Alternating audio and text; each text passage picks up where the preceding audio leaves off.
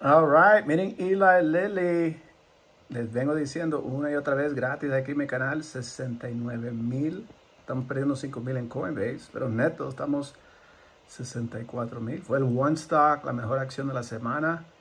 Una transacción, 10 mil dólares que invertí. Un poquito menos, fue como unos mil y pico a más de 70 mil en una transacción. Ese es el poder de trading poner tu dinero a trabajar por ti. Vengo diciendo, Eli Lilly, la acción está en movimiento. No tienes que enfocarte en 20 transacciones, enfócate en la mejor.